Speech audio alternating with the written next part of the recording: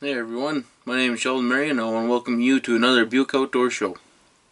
Uh, today I want to talk to you about some spot and stalk bear hunting tips uh, up in northern BC. Well, I'd like to start off by uh, just saying that I'm by no means a bear expert.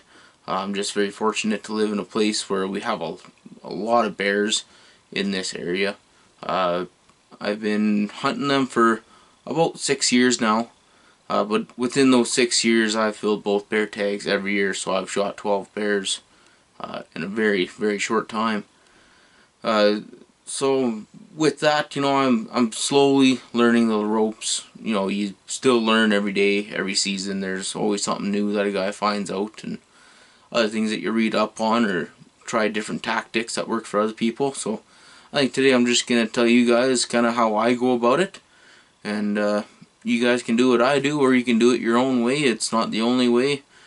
Uh, that's the best part about hunting and fishing and being outdoors. It's there's not just one way of doing things. You can put your own little twist on it. So without further ado here, I'll uh, I'll get into how I go about hunting bears. Well, in the springtime, I'm always uh, I always get pretty excited about start chasing bears again uh, especially winters like the one that we just had. It was really long, cold, lots of snow, and it uh, it kind of set the Bears back by a couple of weeks. Uh, our season runs April 1st till June 30th. Uh, I've never seen a bear around April 1st. I think the earliest I've ever seen tracks were about April 6th, but even that is very early. Uh, so typically what you have to do with the bears in the spring is you are mainly hunting their food sources. Uh, the first couple weeks when they're out, the only thing that they can really eat is vegetation because their digestive tract isn't going yet. So they're not going to be eating any meat or anything for the first week or two. Uh, and that kind of leaves them with the only option is the poplar buds. You'll see the little saplings once they start to come out and kind of turn green a little bit and have a little bit of a fuzz on them you'll see black bears out in the uh, in the tops of poplar trees chewing on them because it's really the only food that they kind of have at that time. In May you'll find them eating the green grasses that are starting to grow up uh, on the side of the roads and on pipelines and cut lines. And then typically in around June when the dandelions start to grow, uh, they really start to chew on dandelions. Uh, we have lots of roads around here where the dandelions they grow like crazy on the sides and you pretty well park at the top of the hill and just wait for one to come out. Like it's it's crazy how many bears around here, especially once the dandelions come out. Uh, our fall season, it runs from August 15th till November 15th. And typically in August, uh, you'll find them eating clovers and oats uh, especially after there's been a real hard frost and the clovers they uh, they die and they turn black. And when they turn black it kind of holds the sugar in the flower so in the bears they really enjoy that. Uh, come September when all the berries are nice and ripe uh, you'll find bears in the blueberries huckleberries and cranberries like crazy. Uh, and then come October once is the berries have kind of died from all the hard frost and they've kind of dropped off and they're all on the ground. Uh, you'll find that the rose hips, uh, they're pretty well ripe by then and the bears will uh, start chewing up on all the rose hips. Well, now that I covered their uh, their main food sources, uh, really the next thing would be just how to spot them. Uh, really, when you're looking for a bear, they stand out a lot. Uh, you just pretty well look for a big black dark blob. Uh, bring up your binoculars, see if it's a boar or sow. Uh, a lot of times, the only way I can tell the difference between a boar and a sow is if the sow has cubs. Other than that, you know, there's expert guides that will be able to give you tips and tricks on on how to sex a bear, but for the most part, if he has big broad shoulders and a big belly, he might be a boar. I I really don't know. I've been very lucky where I think I've shot one dry sow and the rest have all been boars. So in 12 bears I've shot 11 boars, one sow, but it's it's very, very, very hard uh, to figure them out, you know. But uh, one thing too is the equipment that you have it's gonna be good enough. You don't need, you know, Leupold or Vortex or Swarovski. You know, I I have Bushnell spotting scope and Bushnell binoculars. Uh, the amount of money that you spend on your equipment is not going to make you a better hunter. You know, the only thing that's going to make you a better hunter is you.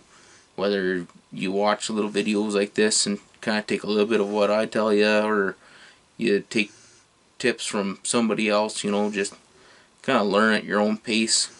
Don't go out and spend a small fortune on stuff and think that it's just going to make you better, because all it's going to do is just make you broke, really. Um, now, when it comes to stalking, again, you don't need anything fancy. If you want to wear camouflage, great, wear it. If you want to wear a $10 Walmart shirt and $30 Walmart pants, it works perfectly fine as long as they're dark. Uh, if it's dark brown or black, it's it works phenomenal as long as you look and act like a bear.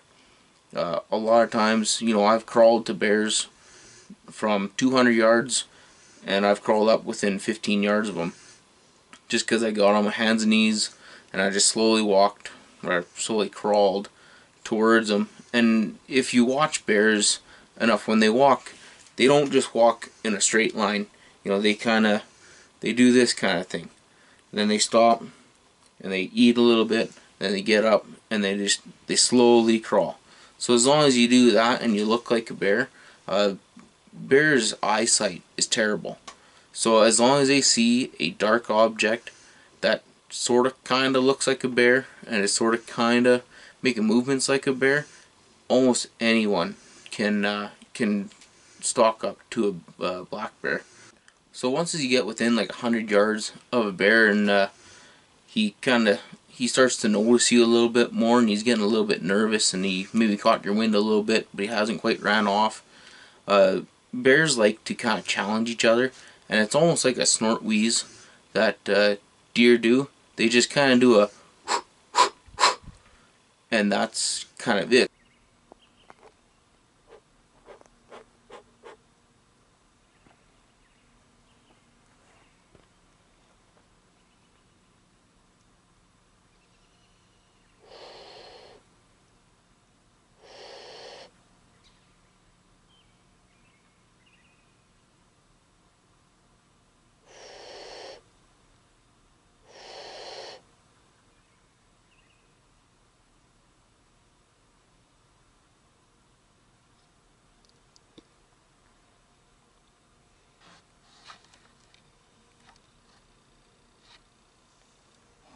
If you do that to him, but then you have to start kind of waddling again, you know, making sure that he goes, okay, that is just another bear. I'm just kind of being paranoid.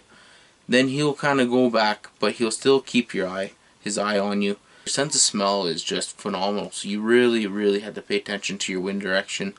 Uh, you have to pay attention to the wind regardless from how far you are from them, but especially at that 100 yards and closer because now they've also been watching you this whole time, kind of slowly coming into them. So they're expecting you to smell like a bear because you look like a bear, you act like a bear, you sound like a bear, but you smell like a human. So, you know, they start to get real nervous and cautious then if they start to smell you.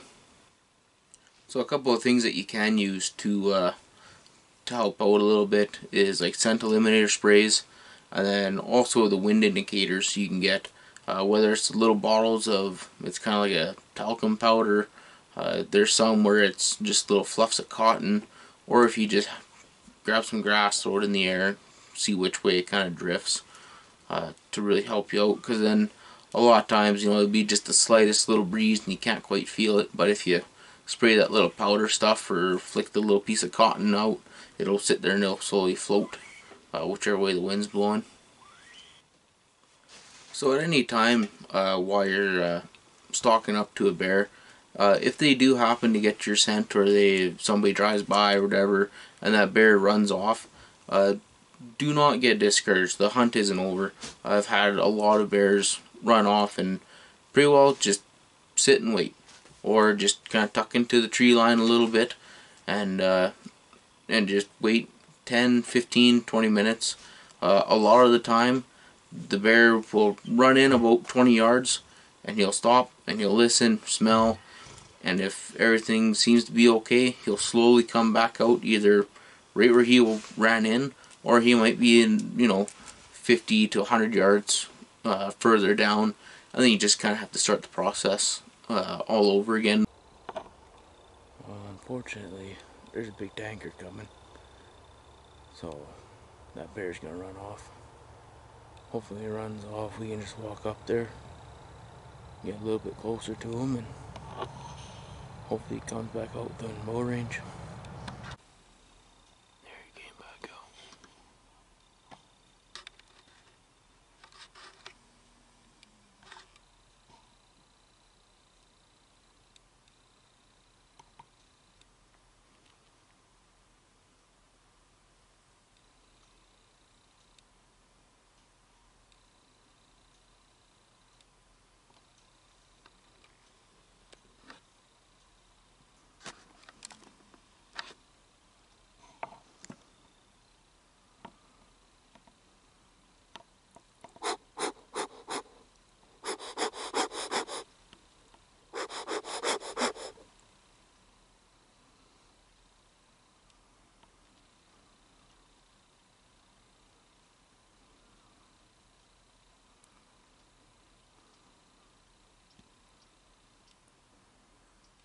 Still curious.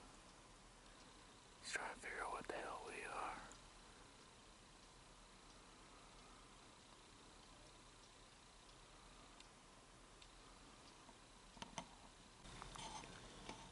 Well, it looks like that bear came back out, but he came out that way. He was running up the road, but I don't know, he must have want to get downwind of us kind of a thing. But the problem with where he is, my truck's right there.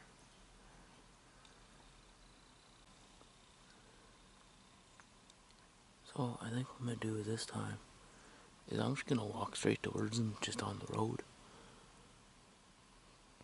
We tried everything else. I mean, he's already staring at us. If he stays there on the bush line and I stay on the road, when we get directly across from him, he'll be about 30 to 35 yards. So I'll start walking here and just uh, see what happens. See, so now we're within 100 yards. This is where it gets a little bit harder. Getting to this part is easy, you just walk up the road to it.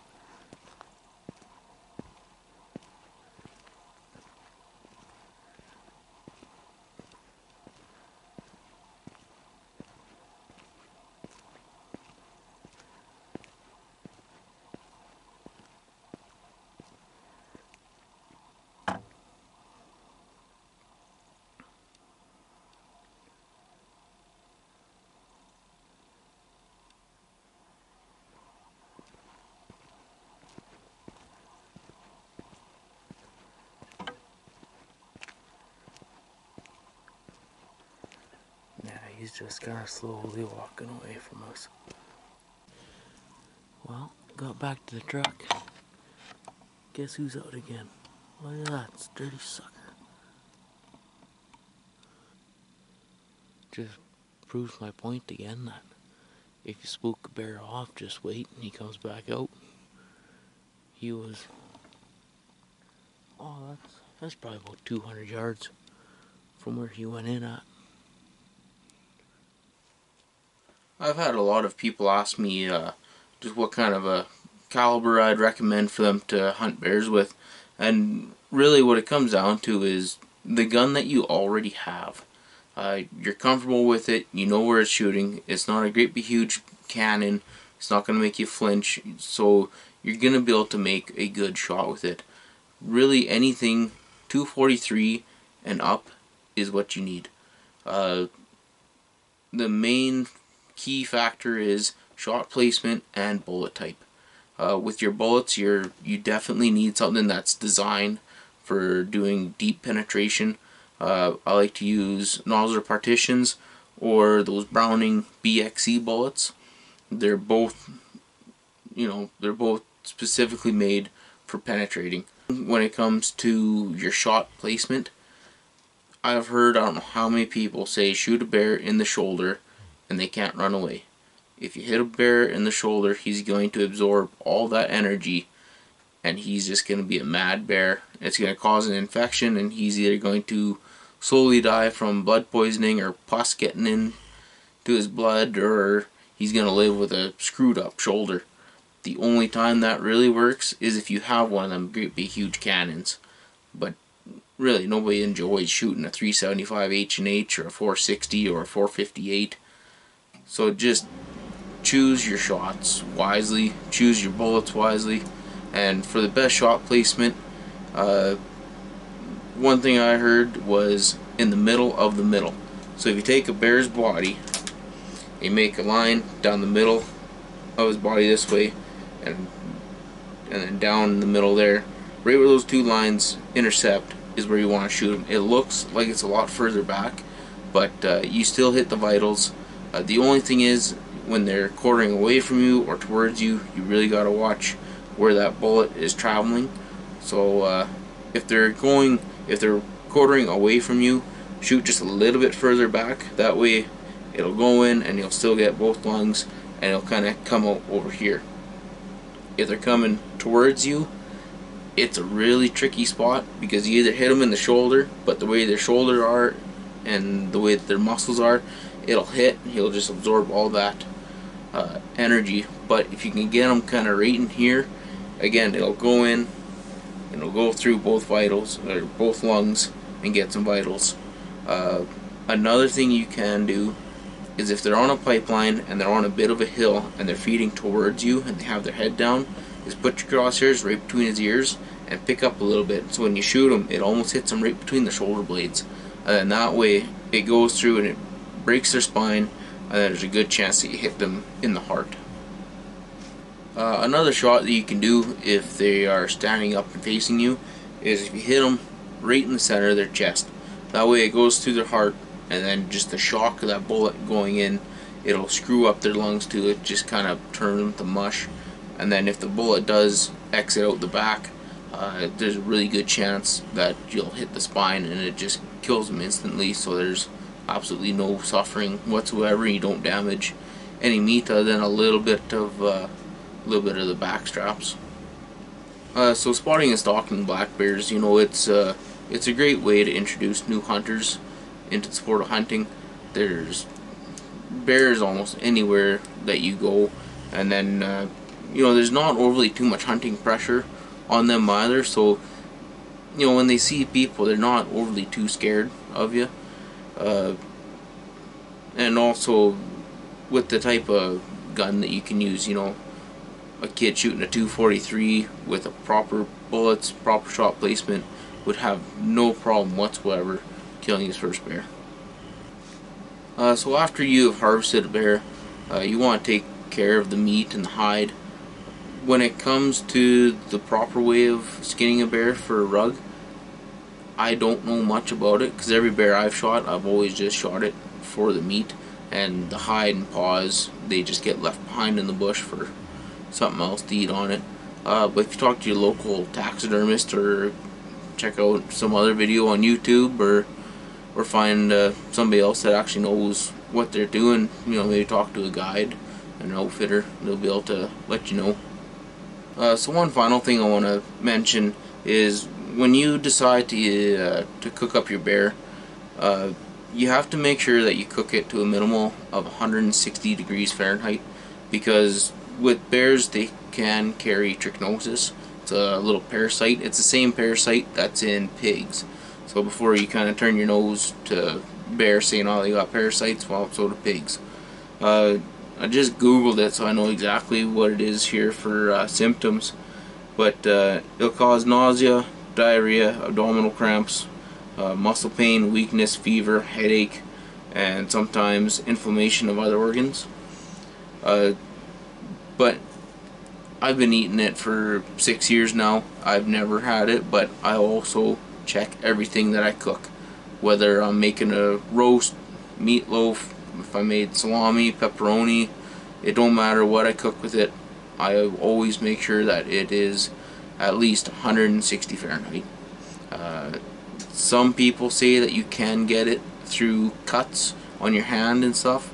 So if you want to wear gloves, give her. I don't and but I mean I've never got it so I don't really think it'll uh, happen but you never know I guess better be safe than sorry but anyways I want to thank you for watching this video and I hope it uh, inspires you to go out and get a bear tag maybe bring your wife or your kid along with you and see if you guys can get a couple of bears thanks for watching